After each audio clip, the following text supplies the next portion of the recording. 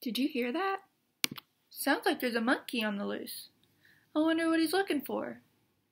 Maybe he's looking for the man in the big yellow hat to teach you about the alphabet. That's what H.A. Rey's book, Curious George, learns how learns the alphabet, talks about. The man in the yellow big hat uh, teaches Curious George about the letters in the alphabet using uppercase letters and lowercase letters. Um, as you can see, in one of them you have the big S and the little s. The big S is for the big snail, and the little s is for the little snail.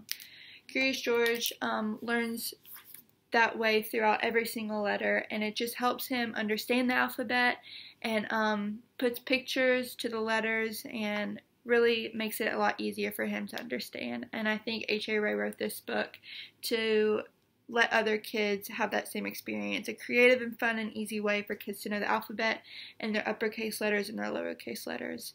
I had a really fun time reading this book, and I think it's a really cool and fun interactive way for other kids to learn the alphabet. So I hope y'all read it, and um, yeah, hope y'all have a good rest of y'all's night.